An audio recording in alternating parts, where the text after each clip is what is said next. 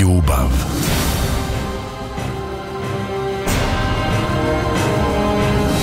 Smrt.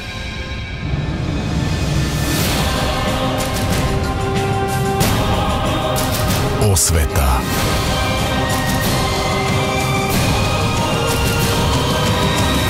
Legenda o konkubini u bioskopima od 22. marta.